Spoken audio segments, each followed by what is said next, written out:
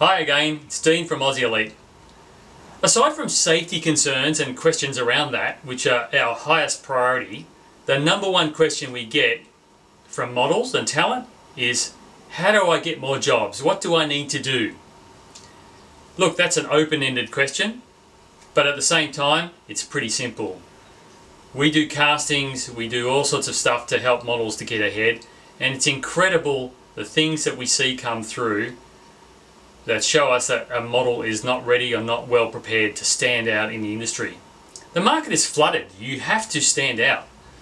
So it's up to you to be professional and to market yourself properly. You are a brand in the end, so your name and your visual image is everything. So you need to be well presented, but you need things like comp cards. You need to apply to castings correctly. So that means your, your electronic comp card or your images must be all up to date. They must be relevant to the job you must have all your sizes and your details. Don't make the casting agent have to search for your details. Make it easy.